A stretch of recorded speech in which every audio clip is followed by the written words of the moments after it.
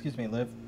After what transpired out there tonight, it seems like you just can't wait. to I get- can't wait. That's the thing. I literally cannot wait. I am counting down the days until Extreme Rules. I heard what Ronda said, and she's right. She is the most dangerous unarmed woman on the planet, and she wondered what she could do with the bat.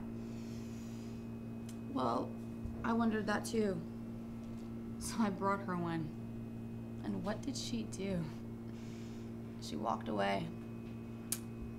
She still doesn't respect me. But at Extreme Rules, she will. Are you ready?